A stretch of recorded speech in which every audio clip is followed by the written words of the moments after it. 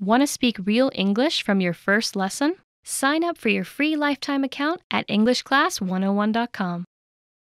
Hi everybody, my name is Alisha. In this lesson, I'm going to talk about the differences between can and could. This lesson is going to include a lot of information and some example sentences. If you want to know more about any of these points, try searching our YouTube channel for a lesson with some more detail. Okay, let's get started with the first point, number one up here. The first way to use can and could that I want to talk about is to express abilities. So an ability that refers to something we are able to do or not able to do.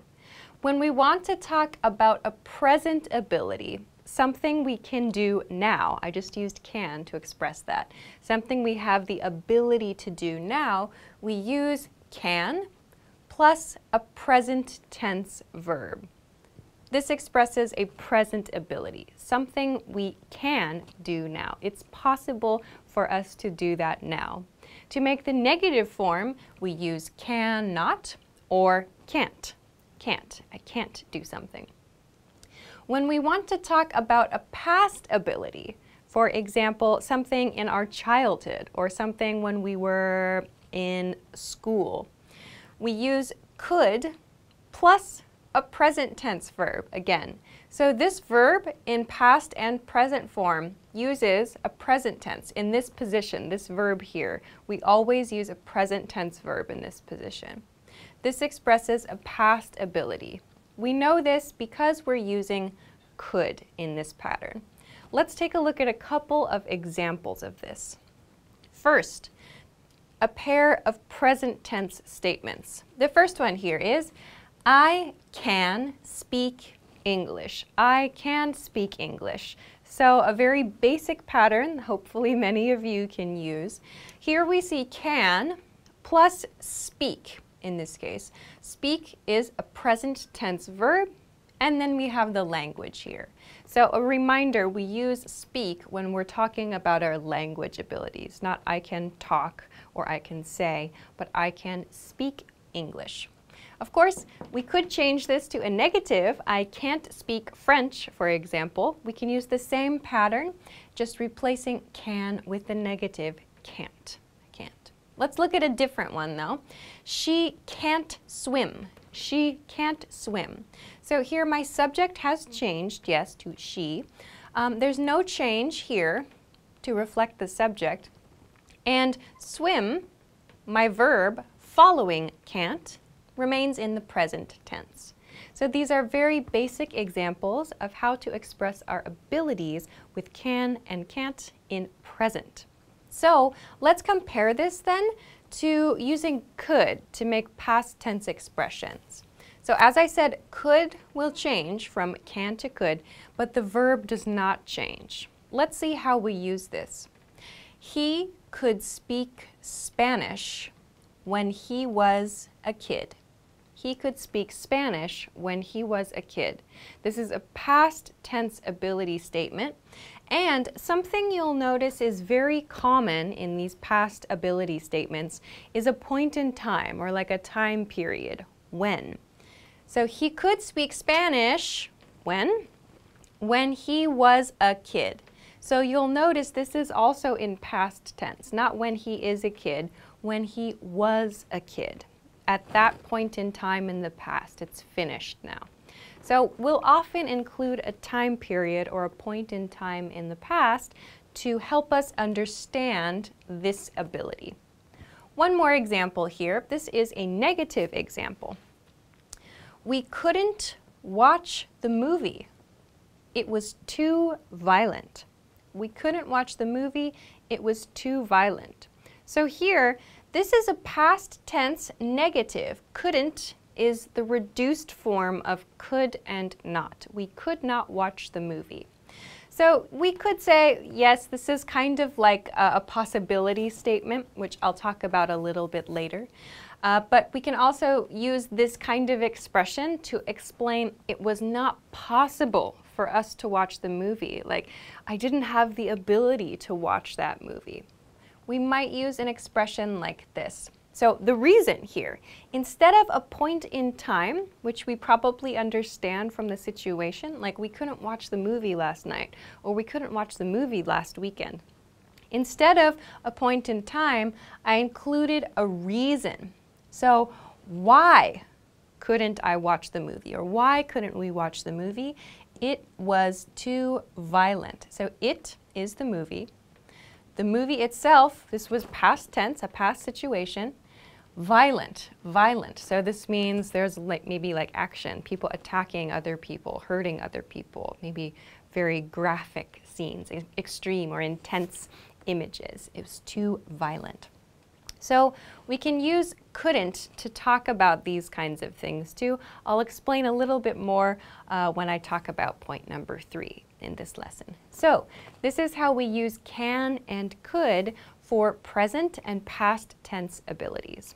All right, let's continue on to point number two for this lesson. Point two is using can and could for requests and for offers. So this is actually a bit simpler than this point, I think. The difference here when you're making requests and offers with can and could is just that can sounds more casual. It sounds a little bit more friendly. Could sounds a bit more polite. So both of these are okay to use in most situations. If you want to sound a little bit more formal, a little bit more polite, you can use could. In most everyday situations, we use can. So we begin our request or our offer, usually with can, and we make a question with it. There are a couple of other variations too. I'll show you a couple examples. So Let's look at using can first. So let's begin our sentence, our question with can here. Can you help me with my homework?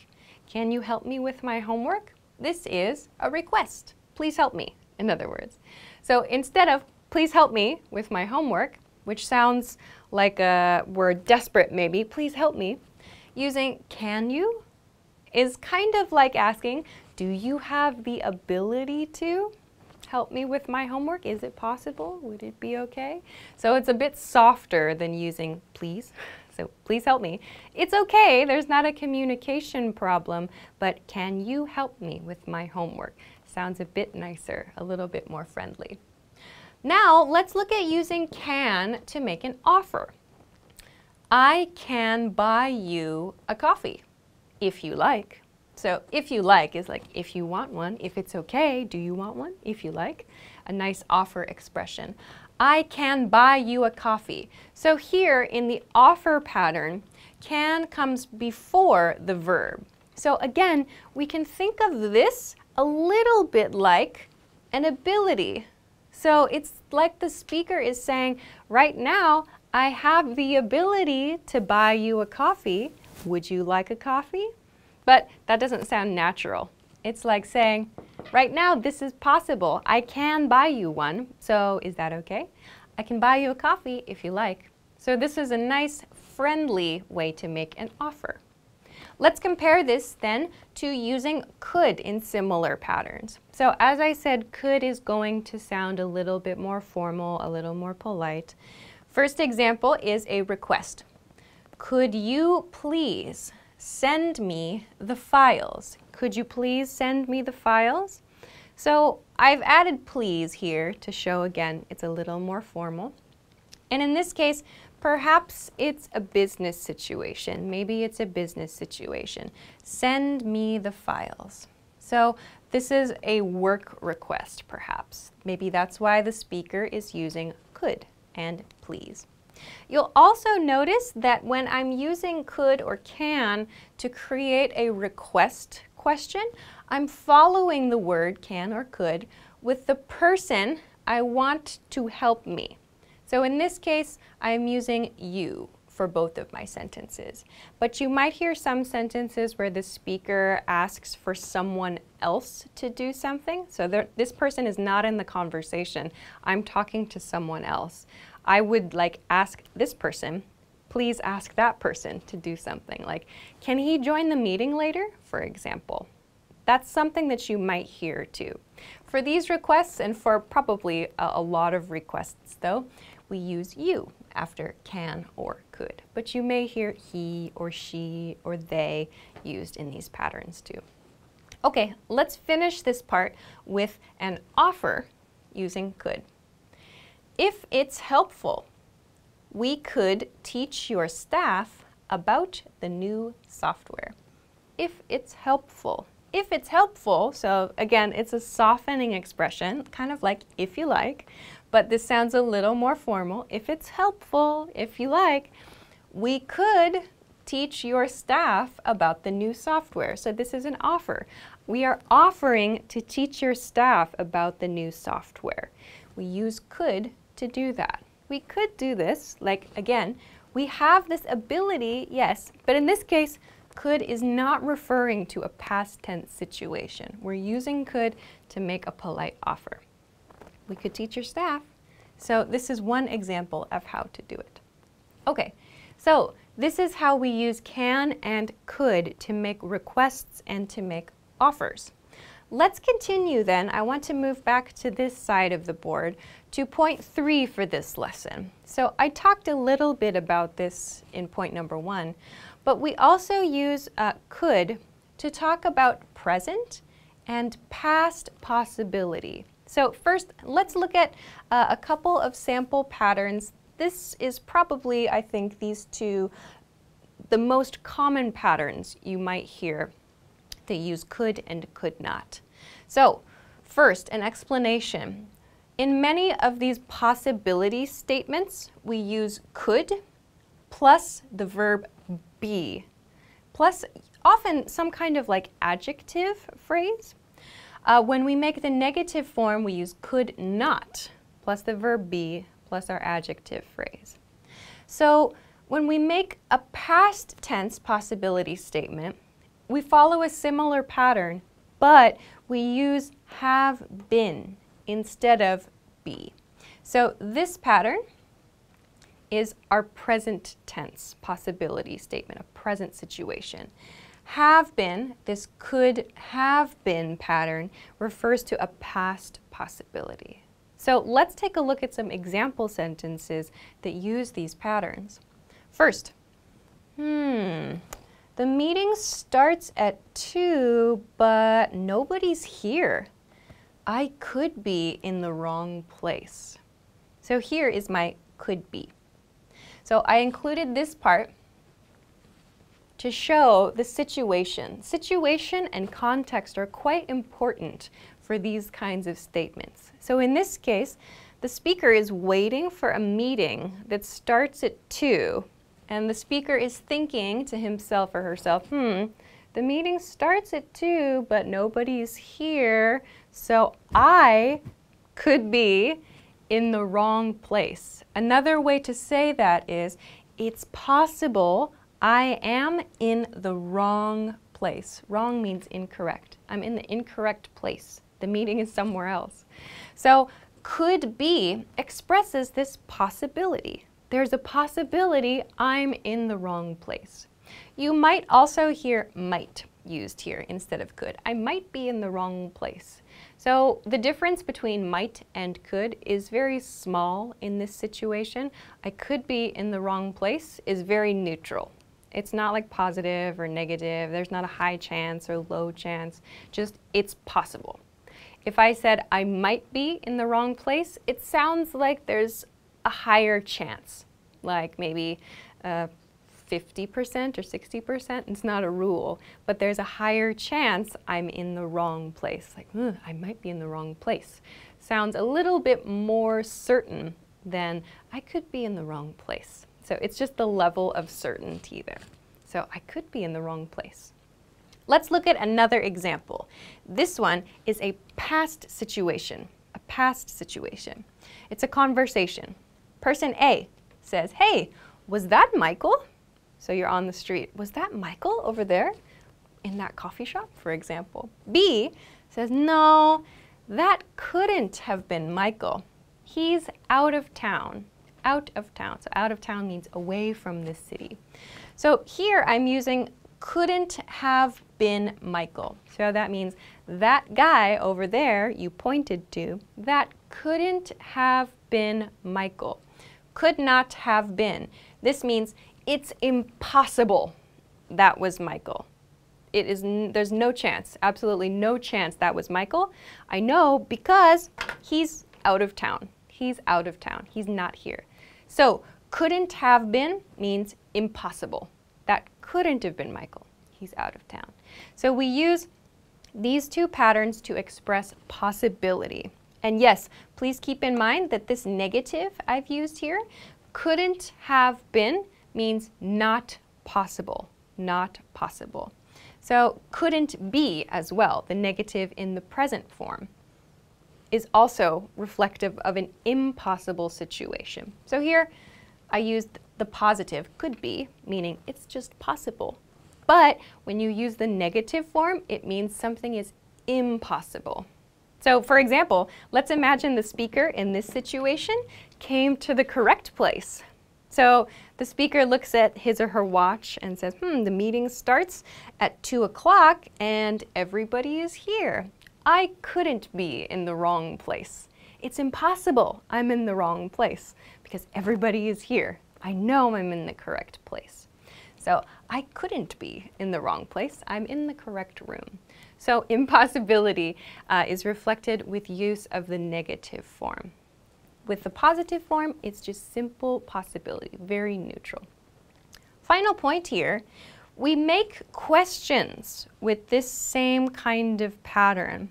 So we do this often when we're thinking, like thinking to ourselves. So I'm alone and I'm thinking to myself about something, or when I need to confirm something with someone else. So an example, could this be the correct building?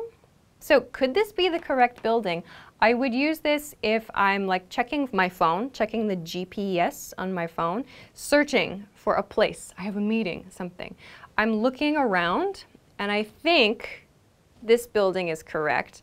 I think to myself, mm, could this be the correct building? So that's a, that's a sentence or a question a native speaker might say um, I feel in most situations, though, we just say, is this the correct building? We just say it with is. Could this sounds more like, is it possible this is the correct building? So it might sound a little bit more formal. I feel like in everyday speech, more commonly we say, is this the correct building? But you might sometimes hear could used in this kind of pattern. Uh, let's look at one more example. Could I have made the wrong decision? Could I have made the wrong decision? So again, the speaker is thinking about something in the past, uh, or maybe they're speaking to a friend. Could I have made? We know this is a past expression because of this grammar right here. Could I have made? Have made shows us that this is something the speaker chose, chose to do in the past. So could I have made the wrong decision? Could be the speaker thinking out loud to himself or herself, is it possible I made the wrong decision? Or the speaker could be asking someone else, could I have made the wrong decision? And they're expecting some kind of opinion. So we're using these patterns to talk about possibility. So you might hear some questions that use could in this way. Uh, but keep in mind these are a little bit different from these offer type questions we talked about. Okay, let's move along then to point number four for this lesson. Point number four is about unreal situations, unreal situations. So when we use could with unreal situations, there are a, quite a few patterns that we can use, um, but I wanted to introduce just a couple of very um, kind of simple ways that we use this. So I've, I've made just this very simple um, pair of if clause and main clause.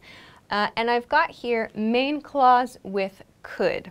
So a point to be careful of is when you're making your unreal statement and you're using this if something something main clause something something pattern, make sure your could is in your main clause. We do not use could in the if clause. So no could goes here. Your modal verbs in general, don't put them in the if clause. Put them in the main clause.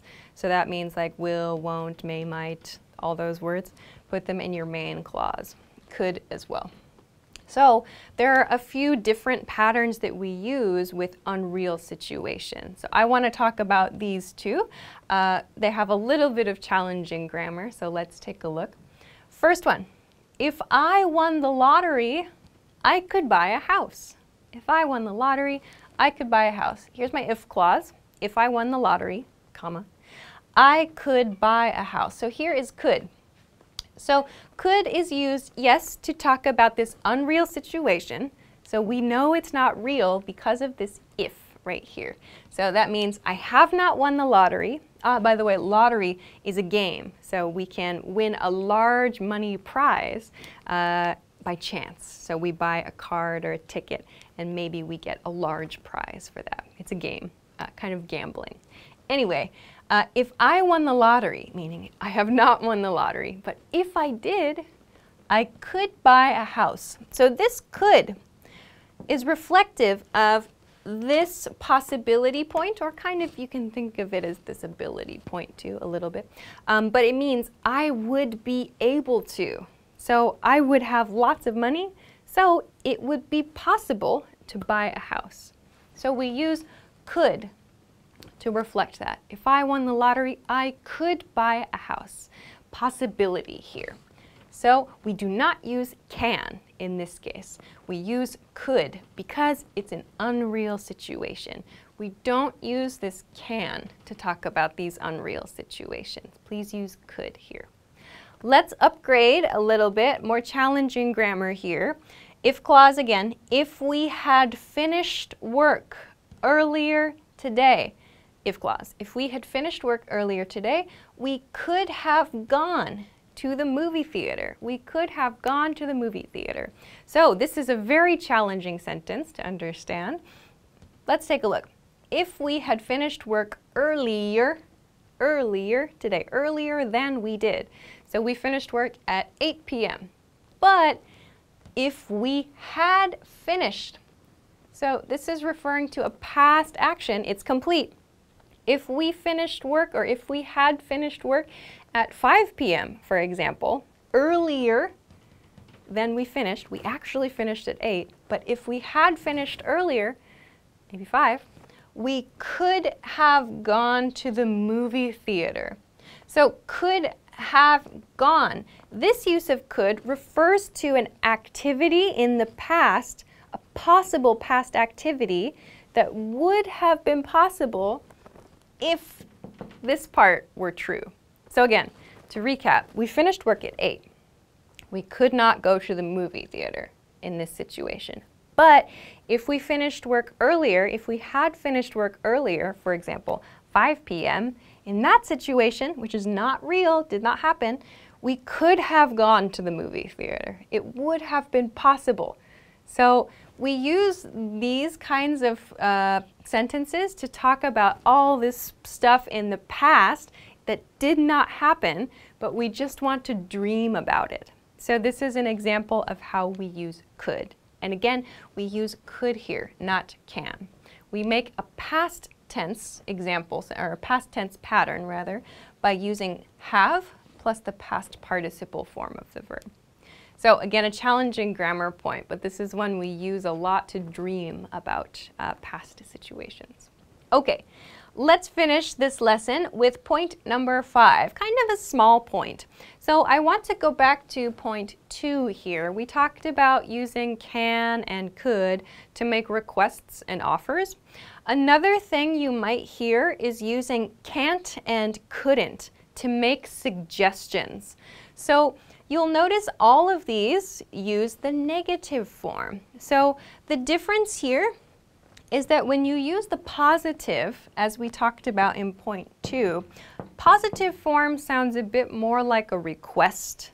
It's like you want something. When you use the negative, though, it's like you're giving something. You're giving a suggestion. So using the can is a little more like you're pulling maybe information or you're pulling something. Using can't is like you're, you're giving a suggestion or you're giving advice. So we use can't or couldn't in the same way that we use can and could to sound a bit more polite. And we often pair this, uh, we often use this together with just. Just is like a, is a modifier. It changes the feeling to sound like simpler or a little more gentle, like just a simple suggestion, just a small suggestion.